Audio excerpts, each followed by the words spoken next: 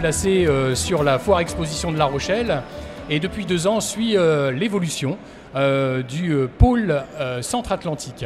Pour cette troisième rencontre, j'ai le plaisir d'accueillir Jean-Luc Alguet, euh, vice-président de la CDA La Rochelle, d'accord Jean-Pierre Servant, président de la CDC Nice Atlantique, ainsi que Éric Frère, président de l'UC2A, de l'Union des clubs d'entreprise de l'ONIS Atlantique. La première question euh, que j'ai à poser, elle s'adresse à, Jean-Pierre Servant. On parle d'un pôle métropolitain euh, centre-atlantique. Alors, pour la plupart euh, des gens, ça ne parle pas. Qu'est-ce que c'est que ce pôle métropolitain centre-atlantique? Alors le pôle centre-atlantique est défini comme étant un espace, un espace de travail et de coopération euh, composé de neuf intercommunalités, trois agglomérations, les agglomérations de La Rochelle, Niort et Rochefort, et six communautés de communes qui sont soit entre ces agglomérations, soit autour. Ce pôle représente 515 000 habitants, 212 communes. Donc c'est un espace important, un espace d'équilibre entre les deux métropoles euh, au nord Nantes et la métropole de Bordeaux qui est dessus.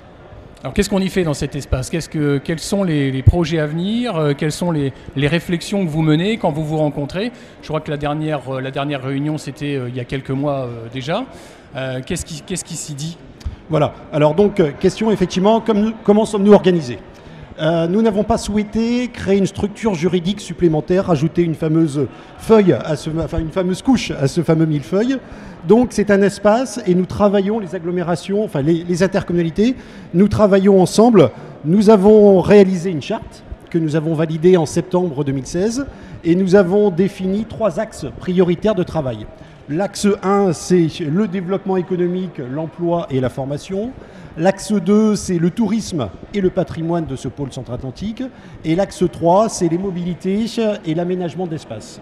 Alors on a créé trois commissions pour ces trois axes, les trois commissions qui se réunissent assez régulièrement et qui font des propositions, comme vous disiez, à cette conférence métropolitaine qui elle est constituée des neuf présidents et ce qui nous permet d'avancer. Alors sur quel sujet travaille-t-on depuis deux ans dans ces trois axes? On va reprendre par ordre hein, et on va commencer donc euh, par le premier axe, développement économique, emploi et formation. Par exemple, aujourd'hui, nous faisons une plateforme, une plateforme de l'emploi qui va être complémentaire des plateformes qui existent dans plusieurs intercommunalités comme la CDA, mais une plateforme évidemment sur un territoire bien plus large puisque ça va être pour couvrir tout le pôle centre-atlantique. Dans cet axe 1, autre travail qui se fait actuellement, puisque c'est aussi un axe sur la formation, eh bien on fait un portrait métropolitain des formations supérieures, euh, à la fois enfin, d'enseignement supérieur et de formation professionnelle. Voilà par exemple un petit peu les travaux actuels de cet axe 1 de développement économique, emploi et formation. Dans le domaine du tourisme et du patrimoine, nous réalisons actuellement une boucle cyclable pour tout le pôle métropolitain. Alors il y a des chaînons manquants évidemment, hein, mais pour accueillir une nouvelle clientèle, un nouveau tourisme, nous, travaillons, la commission travaille actuellement sur cette boucle métropolitaine euh, cyclable. Et puis l'axe 3, donc la troisième commission, commission sur les mobilités et l'aménagement de l'espace. Là, vous savez qu'on est sur des sujets un peu plus compliqués. hein. Il y a beaucoup de- de- comment d'intervenants dans ce, dans ce domaine-là, l'État, la région, les départements. Nous souhaitons être euh, un interlocuteur de poids auprès de l'État, région et département pour faire avancer les projets structurants, notamment de mobilité. Alors évidemment, je pense aux deux principaux, ferroviaires et routiers. Par exemple, dans le domaine du ferroviaire, euh, nous souhaitons être, euh, que l'État soit bien à l'écoute pour améliorer notre offre de desserte via le TGV. Et ça commence dès Saint-Mexan, donc dès l'entrée du pôle métropolitain, puisque la communauté de communes de Saint-Mexan fait partie du pôle métropolitain. Saint-Mexan, Niort, Surgère, La Rochelle. Donc on souhaite avoir une meilleure encore accessibilité par le TGV. Donc là, je suis, si on veut, sur l'est-ouest. Mais il y a évidemment aussi le nord-sud. euh, avec le ferroviaire au niveau du nord-sud. Aujourd'hui, la ligne ferroviaire euh, Nantes la Rochelle, hein, La Roche-sur-Yon, La Rochelle, hein, pour, euh, pour ce qui nous concerne, va être rénovée.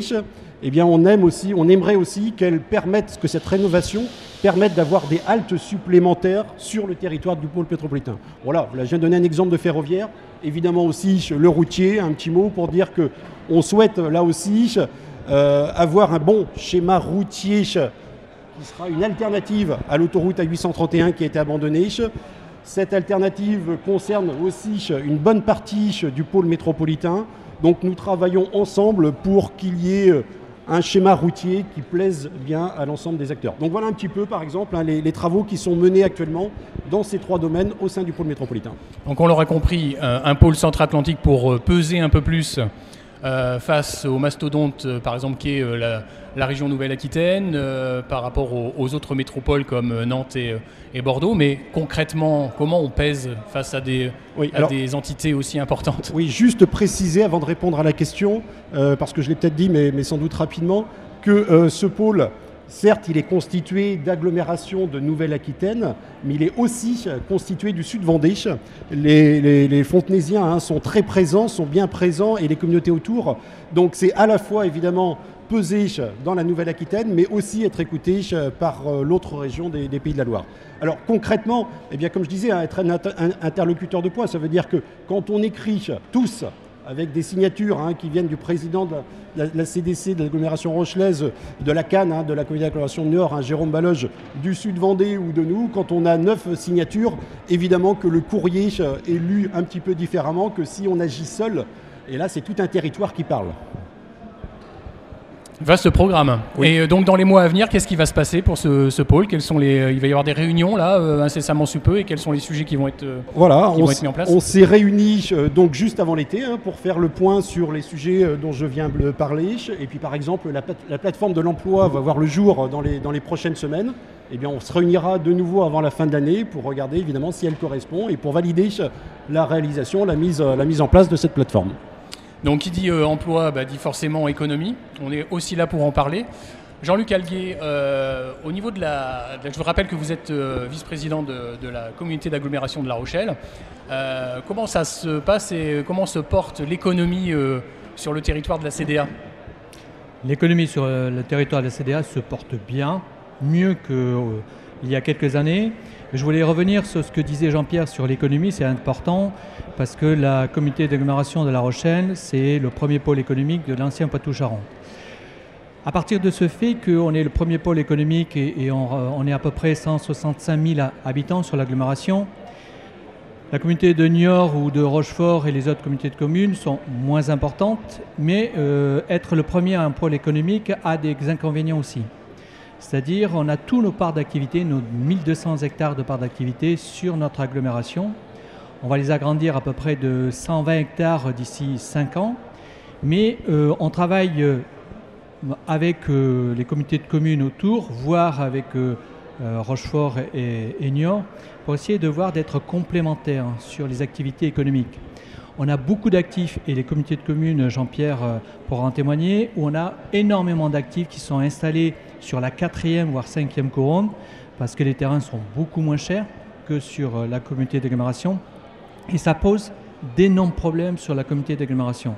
Les infrastructures routières, où les flux routiers sont extrêmement importants à l'embauche et à la débauche, et ça crée de plus en plus de bouchons et de ralentissements sur la communauté d'agglomération.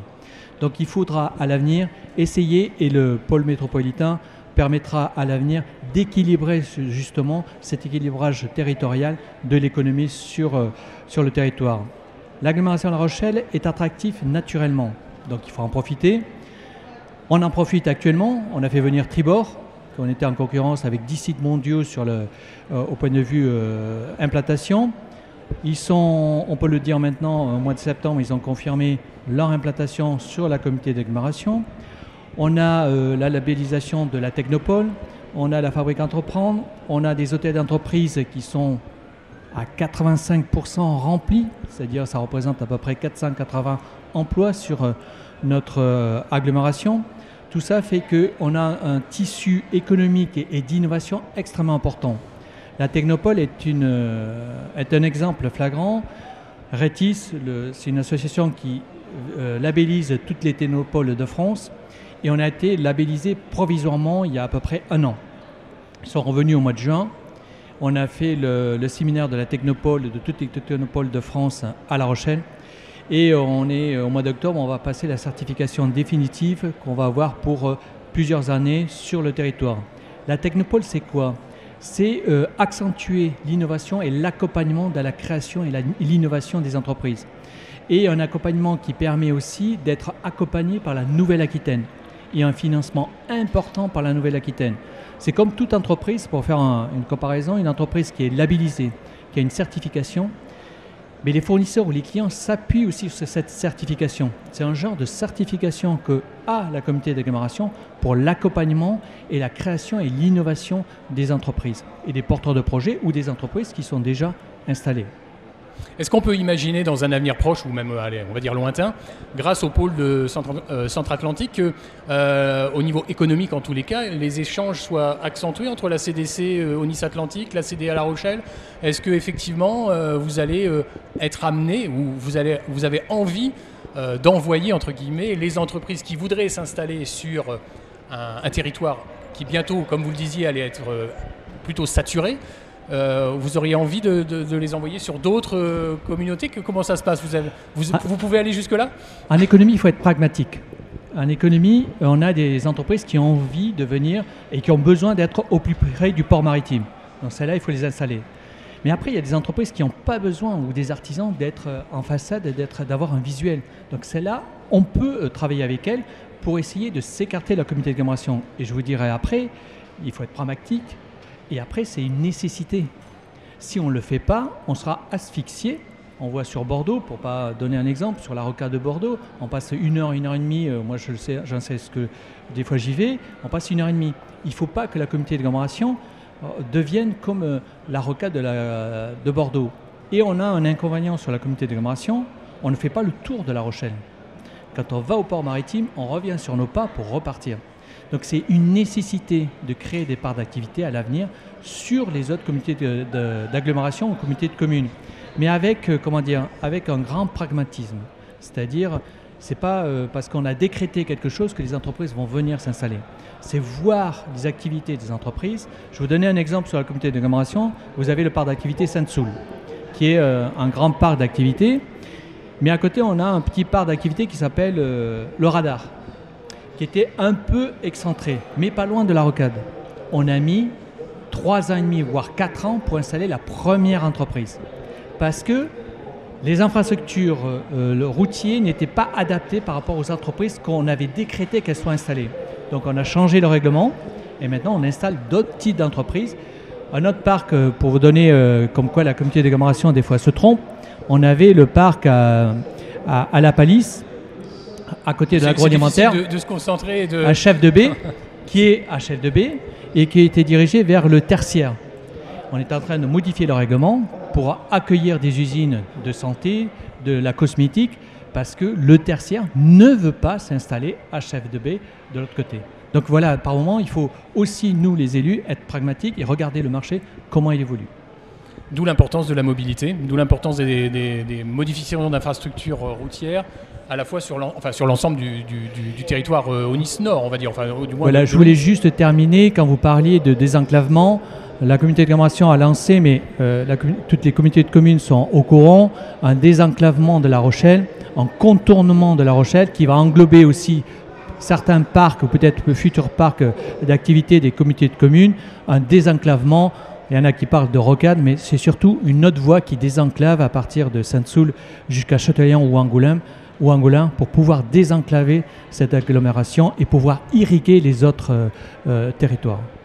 Et puis je crois aussi savoir que euh, sur le territoire de la CDA, le chômage est en baisse. Donc ça veut dire qu'il y a de plus en plus, vous le disiez, d'entreprises qui, qui, s'installent et donc qui créent des emplois. C'est de, l'ordre de combien par rapport aux autres Quand on est arrivé avec Jean-François Foutaine, le président de l'agglomération en commande, le taux de chômage frôlait les 11%. Alors, il faut faire très attention parce qu'on a des, retournements. il y a euh, le dernier, euh, pas ce trimestre, mais le trimestre d'avant était à 8,8 le taux de chômage. Le dernier trimestre qu'on a pris connaissance là il y a quelques jours, on a repris 0,4, c'est-à-dire on est remonté à 9,3. Mais au niveau national et au la Nouvelle-Aquitaine, aussi le taux de chômage a remonté euh, un petit peu. Mais il faut voir ça, il faut le lisser sur toute l'année.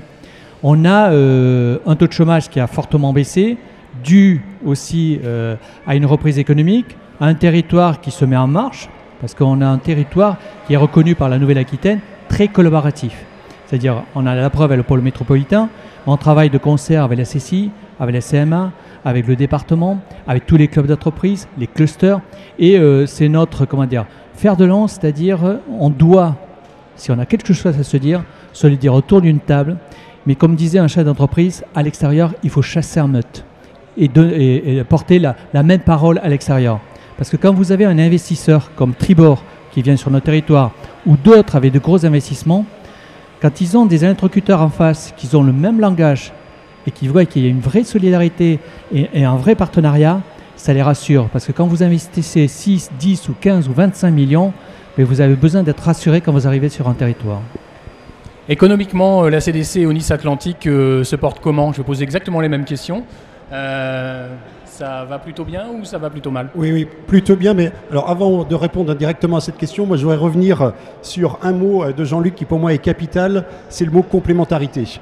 Euh, je ne l'ai pas dit tout à l'heure pour le pôle métropolitain, mais c'est vrai que quand on regarde les métropoles du sud ou du nord, autrement dit Bordeaux et Nantes, c'est des métropoles pour une grosse ville.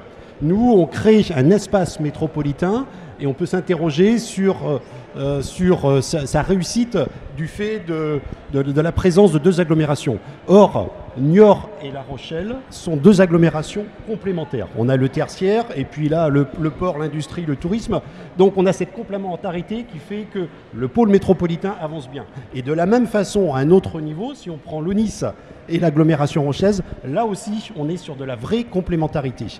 Et donc, c'est pour ça qu'on travaille ensemble à la, réalisation d'un schéma de cohérence territoriale et qu'il n'y a pas de concurrence entre nous, mais bien au contraire, euh, puisqu'il y a cette complémentarité. Alors, il est vrai aussi que, comme vous disiez l'un et l'autre tout à l'heure, les flux sont énormes entre nos deux territoires. Tous les jours, il y a 6600 véhicules qui partent d'Onis Atlantique pour aller sur l'agglomération rochelaise pour un, pour un déplacement euh, de travail. C'est beaucoup trop. Donc c'est vrai que c'est beaucoup trop et comme tu disais aujourd'hui il y a une saturation de La Rochelle. Donc nous de notre côté et du coup j'en arrive à votre question, de notre côté on souhaite créer aussi des emplois. Alors on n'est pas tout à fait évidemment au même niveau hein, que l'agglomération rochelaise. Aujourd'hui on a sur notre territoire que 5500 emplois, hein, c'est très faible, et on a cet objectif de créer 1200 emplois dans les 10 ans à venir. Alors toi, tu parlais tout à l'heure hein, de 120 hectares dans les 5 ans. Nous, ce sera sur 60 hectares dans les 10 ans. Évidemment, hein, ce n'est pas tout à fait dans les, mêmes, proportions, mais cette complémentarité va faire qu'on pourra créer des emplois soit d'artisanat, soit, comme tu disais tout à l'heure, de, soutien aux, services principaux ou industriels qu'on va trouver sur l'agglomération rochelaise. Mais on va travailler ensemble, construire ensemble ce grand territoire et aucune inquiétude, euh, les uns et les autres pourront se développer et avoir un bon développement économique. Je ne vous ai pas posé la question, mais quels sont les domaines d'activité sur la, sur la CDA qui embauchent le plus? Qu'est-ce qui fonctionne chez nous? Le tourisme qui embauche euh, pas mal. Il y a l'agroalimentaire, qui, euh, le tertiaire énormément. L'industrie qui a stabilisé, qui a repris un peu, qui repart. Et il faut savoir qu'avec Alstom, avec son TGV du futur, pas dans les années, euh, pas dans l'année prochaine, mais dans 2-3 ans, quand ils vont mettre en, chantier la, construction du TG des futurs, il va y avoir aussi pas mal de recrutements et en sous-traitance aussi des recrutements. Et souvent, on oublie sur la comité d'agglomération, on parle de tourisme. C'est vrai que c'est un gros secteur, mais ce n'est pas euh, le secteur le, un des plus importants. Le plus important, c'est le tertiaire. L'agroalimentaire pèse 1200 emplois sur la comité d'agglomération.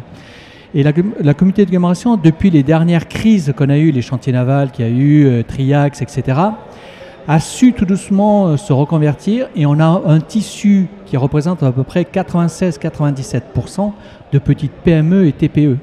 C'est voilà, il y a très peu de grosses entreprises. Si vous enlevez Léa Nature, vous enlevez Alstom, c'est celles qui font plus de 1100 emplois sur la communauté d'agglomération. Après, on descend à 500, il y en a quelques-unes à 500 emplois. Et après, vous descendez au-dessous et vous avez énormément d'entreprises, auto-entrepreneurs, mais une, deux emplois et jusqu'à 20, 20 emplois, ça représente à peu près 95% des entreprises du territoire. La communauté d'agglomération, sur 17 000 entreprises enregistrées, il y en a un peu moins de 11 000 qui sont en activité, voilà, qui fonctionnent sur la communauté d'agglomération. Sur la CDC au Nice Atlantique. Euh, c'est intéressant, évidemment, tous ces chiffres, je ne les connaissais pas de, façon si détaillée. Mais euh, nous, par exemple, on a 2400 entreprises sur le territoire et on a 76% de nos entreprises qui n'ont pas de salariés. Nous, c'est des petites entreprises. Ouais, très petites, sans salariés, très petites. 76%. Et ensuite, on a dans les, dans les 24% restants, on a 20% de nos entreprises qui ont moins de 9 salariés.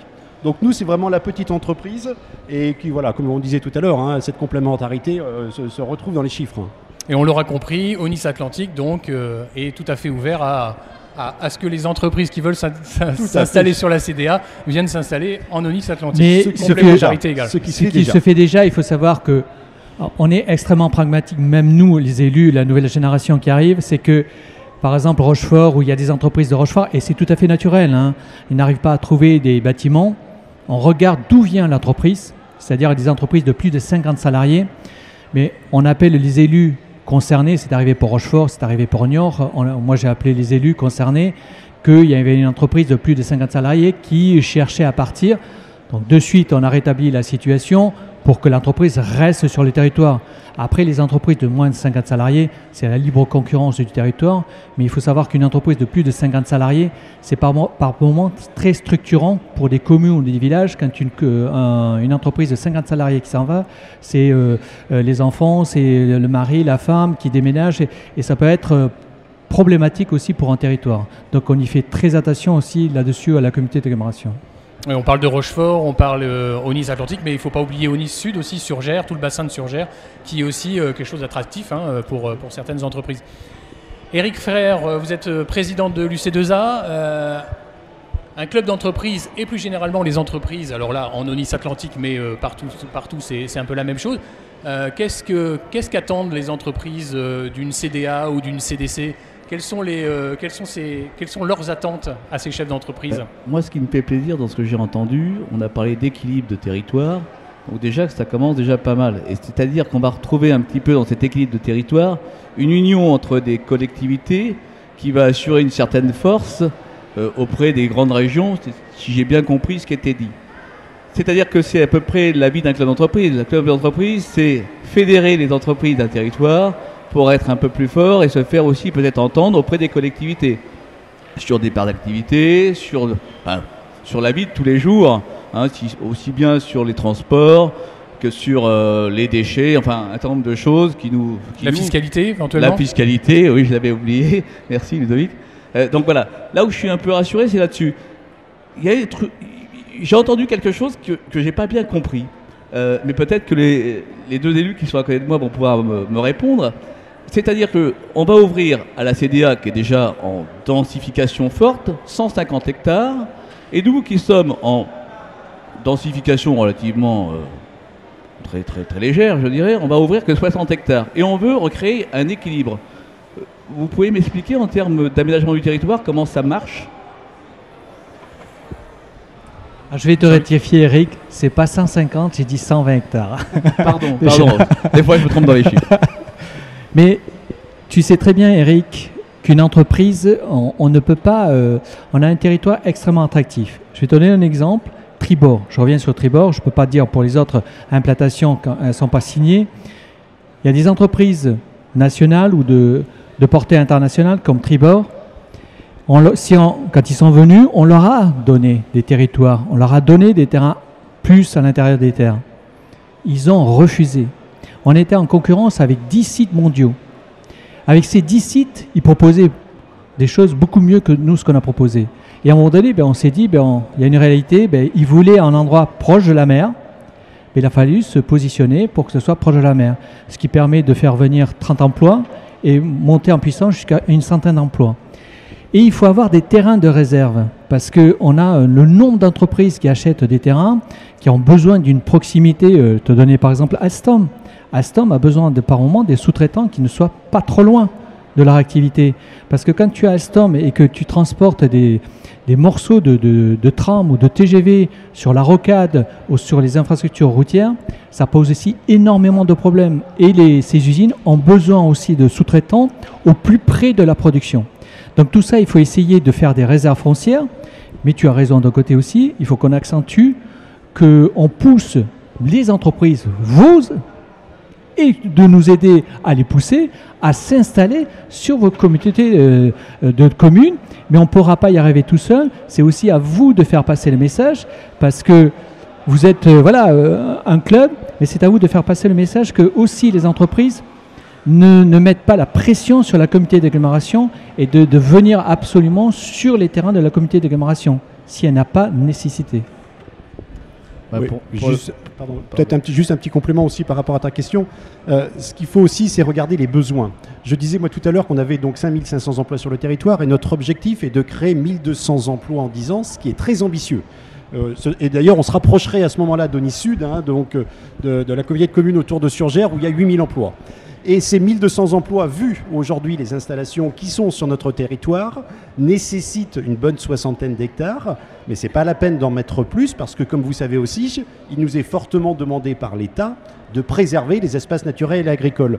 Donc, on a étudié évidemment les besoins en surface, en foncier pour accueillir, pour créer ces 1200 emplois, et on considère que 67 hectares nous suffiront. Et c'est pour ça qu'on ne, on ne, on ne met pas, on ne met pas plus. Ça ne nous empêche pas quand même d'avoir un- dans un coin de la tête euh, l'idée de, de- de- de se faire une réserve, parce que peut-être que demain, dans le cadre de ce pôle métropolitain, il y aura des besoins dans le cœur du pôle métropolitain, qui est, qui est, qui est au Nice Atlantique. Très bien, Jean-Pierre. Éclairé, euh, Eric Ah Fer bah, très éclairé. Bon, on verra ce que l'avenir, euh, que deviendra, c'est effectivement toutes ces propositions, tous ces aménagements sur les 10, 15, 20 ans à venir, puisque je suppose que tout ça, ça va pas se faire du jour au lendemain. Euh, du coup, effectivement, nous, le club d'entreprise, ben, nos adhérents sont du territoire Nice Atlantique. Ils y restent, ils n'ont pas trop envie de bouger, ils sont bien. Donc, du coup, euh, on, verra si le club d'entreprise grossit plus tard, avec toute cette ambition euh, de notre président. Et peut-être qu'effectivement, peut-être qu'aussi demain, la CDA et la CDC ne feront qu'une. Peut-être, mais ça, on verra. D'ailleurs, euh, pour revenir sur le, le pôle centre-atlantique et, et- et finir avec, euh, avec ce pôle, euh, l'échéance c'est 2020. Qu'est-ce qui se passe après euh ce qui se passe après. Alors ça, on ne le sait pas. Parce que 2020, c'est demain. hein, c'est, euh, oui, oui, alors juste euh, ce qu'il faut savoir, enfin bon, peut- peut-être que tout le monde ne le sait pas bien, mais 2020, c'est une année d'élection. Euh, c'est une année d'élection. Voilà, c'est c'est une année d'élection avec des nouvelles équipes qui vont se mettre en place suite aux élections municipales et intercommunales, hein, puisque c'est à la fois le renouvellement des conseils municipaux, mais aussi le renouvellement des conseils communautaires. Donc les nouvelles équipes vont se mettre en place à ce moment-là et décideront de la suite. Mais nous, évidemment, ce qu'on souhaite, c'est que ce pôle centre-atlantique continue à exister parce qu'il y a de vrais enjeux, des, des enjeux importants, de vraies raisons, euh, une vraie cohérence, comme je disais tout à l'heure. Donc évidemment, moi je souhaite longue vie à, à ce pôle-là, quels que soient les élus qui seront autour de la table après 2020. Merci messieurs pour euh, tous ces éclaircissements. Et puis euh, ben, l'année prochaine, on se retrouve et puis on refait un point sur l'avancée euh, à la fois économique et puis du pôle centre-atlantique qui est après tout une bonne idée. Enfin en tous les cas, c'est comme ça que beaucoup de personnes le ressentent. Merci messieurs. Merci.